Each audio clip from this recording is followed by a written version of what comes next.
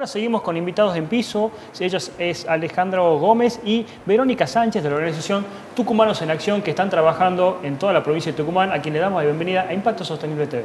¿Cómo están? Muy buenos días. ¿Cómo están? Buenos, días. Muchas gracias por la invitación. ¿Le pueden contar a la audiencia qué es Tucumanos en Acción?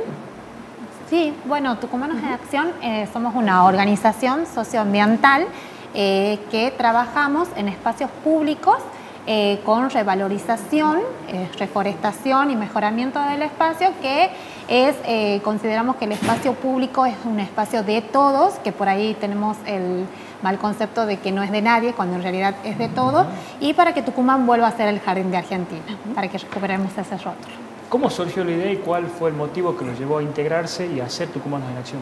Bien, sí, como decía Verónica, la idea principal siempre fue esto de volver a ser el jardín de la República Argentina, recuperar ese rótulo, y eso como, como, ciudadanos tucumanos eh, nos incomodaba, nos daba muchas veces hasta, hasta el momento vergüenza en situaciones donde uno podría salir eh, a nuestro querido Tucumán, a paisajes y ver basura o basurales, tala de árboles, cosa que nos incomodaba y nos molestaba y decir, bueno, basta de, culpar a, a diferentes actores, a la sociedad y entremos en acción. Decidamos nosotros entrar en acción y demos el ejemplo. Y así fue como comenzamos nosotros allá por el 2016 con nuestra primera acción. Fuimos a limpiar el, primer mirador del Cerro San Javier. Fíjense, una, eh, justamente recién hablábamos de turismo sostenible y el impacto. Y el primer mirador del Cerro San Javier tenía basura, no había un cesto de basura y un basural ahí. Entonces lo limpiamos y esa fue nuestra primera acción y que motivó a la sociedad porque cuando uno postea a través de las redes sociales y siente ese, ese, eh, salud de la gente, dice, che, sobre todo había mensajes de mucha gente, esto siempre lo, lo remarcamos, que decía, yo siempre quise hacer esto, pero no me animaba, no sabía por dónde empezar o cómo hacerlo. Viéndolos a ustedes, bueno, como que impulsamos a eso, ¿sí? ¿Cuáles son los pasos a seguir para que Tucumán vuelva a ser el jardín de la República?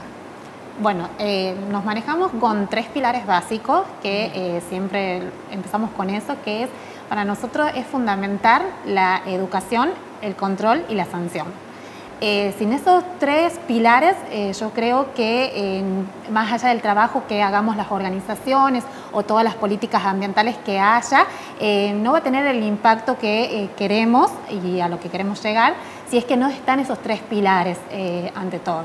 Las organizaciones por ahí estamos desde el lugar de la educación, de la concientización, hacia la gente y bueno, eh, las políticas de Estados tienen que estar para lo que son los controles y las sanciones. ¿Qué desafíos enfrentaron en cada uno de los proyectos que vienen llevando a cabo? Un montón. Un montón, la verdad que desde preguntarnos eh, por qué hacemos esto, para qué y de pronto salir en acción, que nosotros lo hacemos eh, los días sábado, una vez al mes o algunas veces dos, según el tiempo que tengamos, pero uno deja, y siempre remarcamos en esto en la gente que se suma a las acciones, uno deja de hacer su rutina de sábado, que uno trabaja de lunes a viernes quizá, y el sábado tiene planificado un montón de actividades y deja esa pequeña actividad para involucrarse y participar y dejar una huella con una acción, ya sea una limpieza de un basural, plantar un árbol o lo que fuera para mejorar nuestro Tucumán.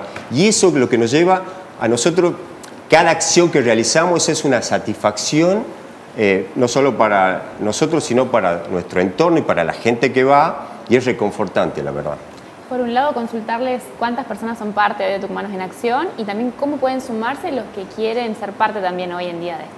Perfecto. Nosotros eh, somos un grupo de eh, seis personas, las de siempre, digamos, las que salimos siempre. además, nosotros difundimos a través de las redes sociales cuando se va a realizar una acción eh, próxima a la fecha, con eh, ubicación, día y horario, y a través de las distintas redes sociales, donde también figura el teléfono de WhatsApp, eh, los se comunican con nosotros. Cualquier tucumano que quiera participar es bienvenido. Nuestras acciones son acciones abiertas al público en general.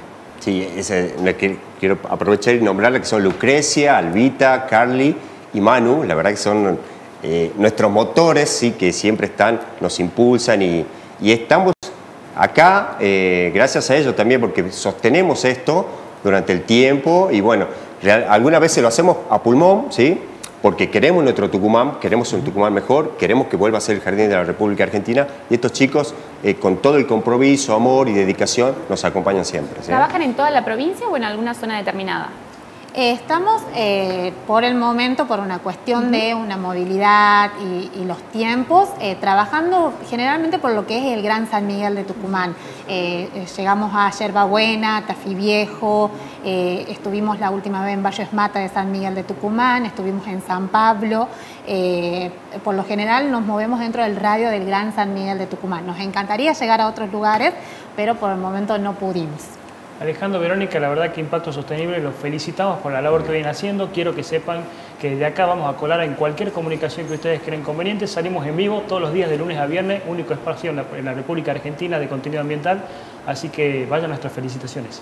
Bueno, bueno gracias, y cuenten con nosotros también para que esto, la única forma de salir adelante es trabajar en equipo, en público, privado, NG y, y los medios de comunicación. Así que vamos hacia adelante todos juntos.